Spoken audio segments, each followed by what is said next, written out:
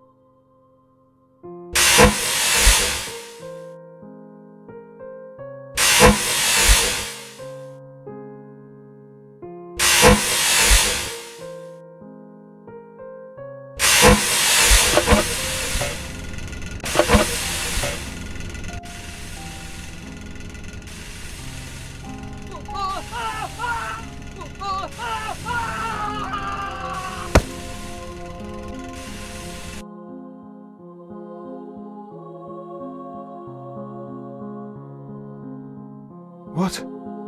What was that? Where am I? Are you the one who rescued me from that nightmare? Thank you. I, I thought I'd never get out of there. Where are we? Does this place really look like this, or am I still out of my mind? I don't remember how I got here. I remember introducing the time machine before the show. Mr. Toad decided to check the mechanism just in case. Uh huh, so that's what happened. After all, the machine worked fine during rehearsal. This is all his fault. How could I have so blindly trusted him?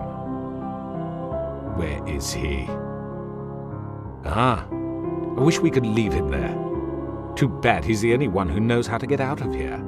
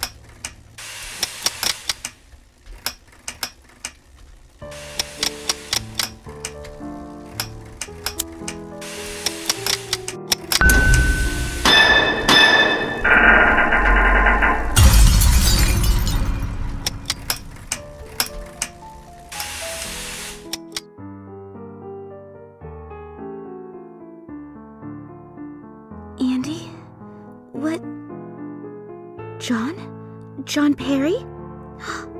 How is this possible? I, I don't understand. You left and I. I gave up hope of seeing you again. And then everything turned into a nightmare. I thought it would never end. But. But you saved me. Oh, John, you do still love me.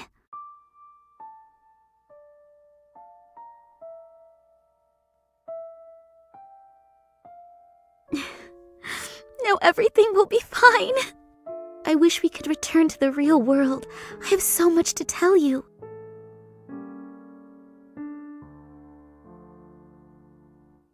We also need to rescue Mr. Toad. He's the only one who knows this world well enough to leave it.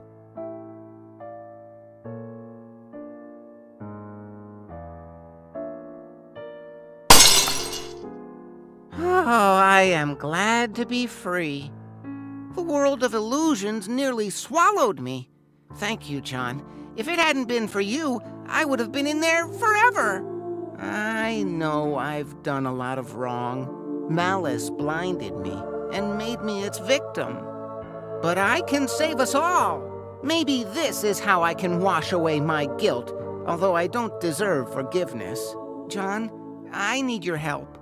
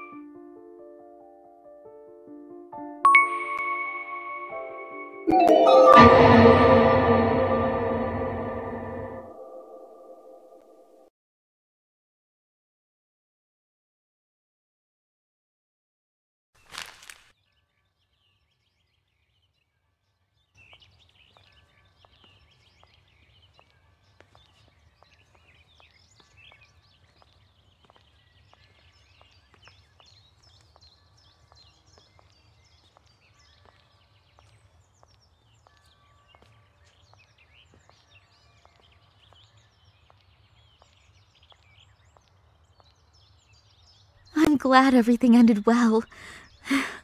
You're here with me.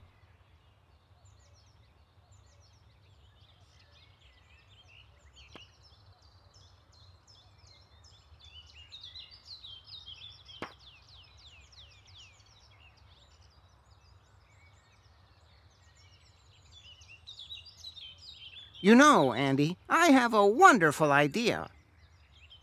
We'll stage a new show. The Magnificent Mr. Toad and the Marvelous Mr. Fox spark your imagination. Hmm.